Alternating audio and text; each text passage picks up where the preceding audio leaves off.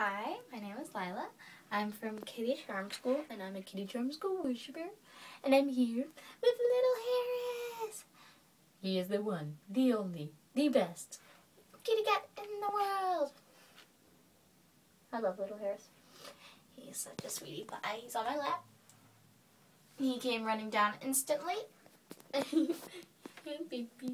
And he's just, we're just chilling on the ground, and it's really relaxing, and I love him.